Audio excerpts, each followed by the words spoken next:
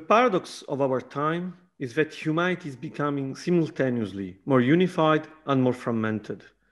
Metaphysical elevation took us away from any place in direction of its celestial plus ultra.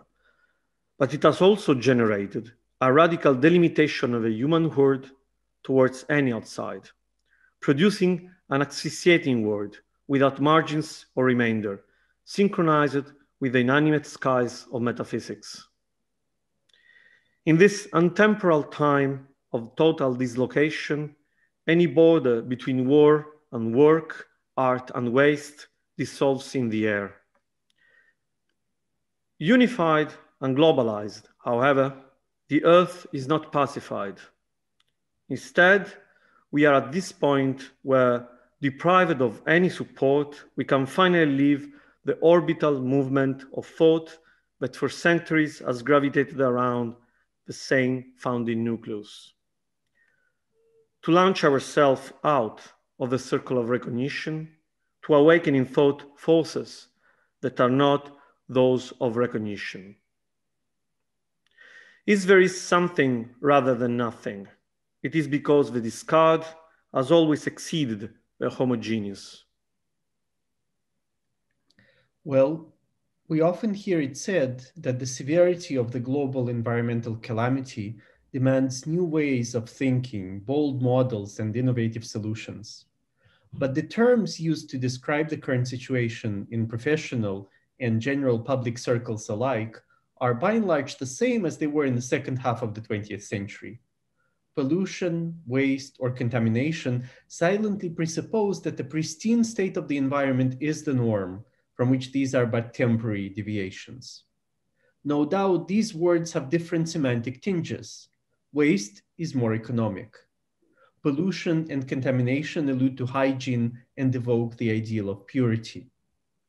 The discourses they're embedded in fail to take into account the overwhelming prevalence of microplastics in every ecosystem and in elemental milieu, or the way byproducts of industrial activity reshape the earth and its atmosphere.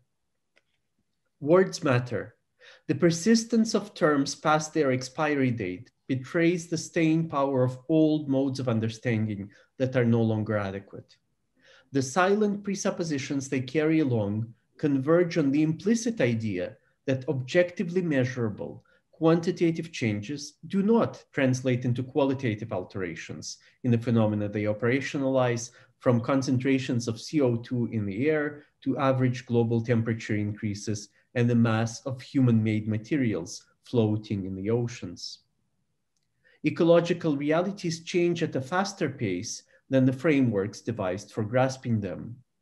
Through prisms made the day before yesterday, we see yesterday's world at a moment, today, when that world is already drastically different and on the verge of disappearing.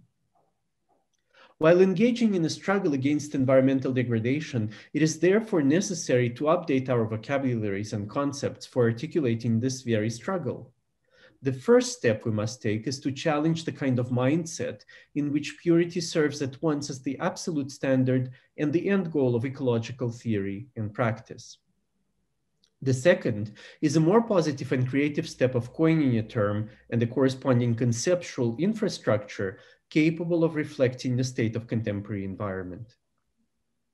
What should our word for the element shaping, world devastating, natural artificial force be? the force that leaves a welter of marks on inorganic formations and sweeps through every ecosystem, becoming ingrained into and surrounding every organism. My wager over the past few years has been that dump is that word. When it comes to its scope, dump exceeds the limits of regional ontologies, that is to say, of specific regions of being, such as the psychological, the physiological, the economic, or even the ecological. In the 21st century, it is the name for being as such and as the whole, embracing all of the above dimensions.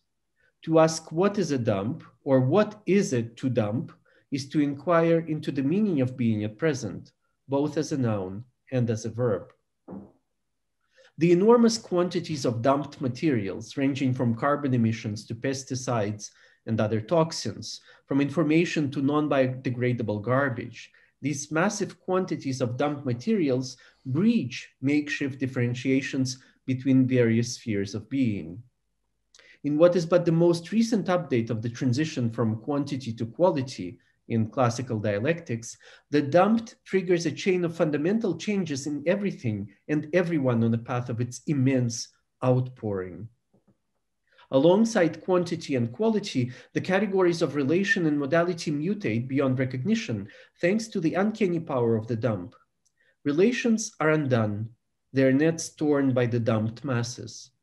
The modal categories of necessity, possibility, and existence itself are determined as though by a metamodality by the existence, possibility, and necessity of the dump.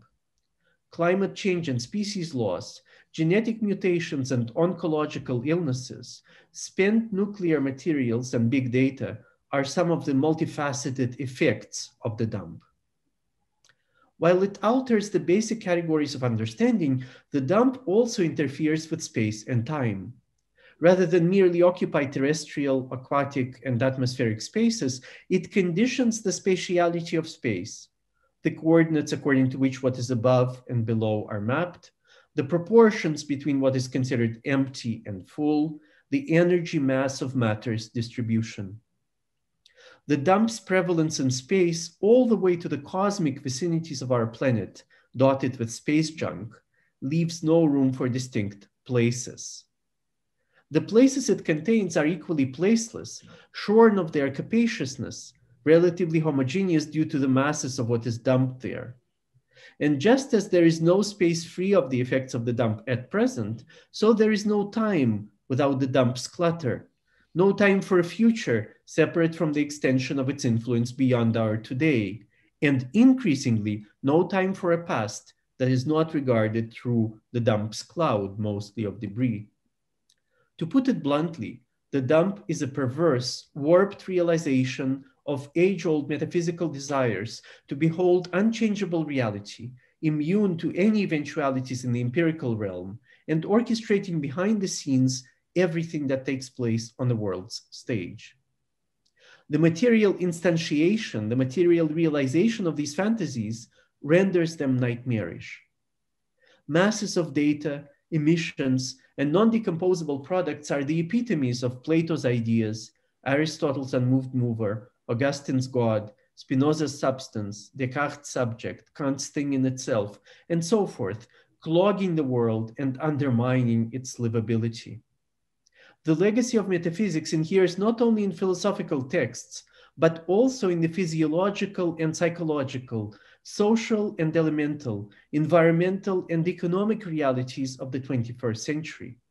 That is why it is insufficient to deconstruct this legacy intellectually when its colossal residues persist all around and within us, molding whatever remains of the world and of worlds.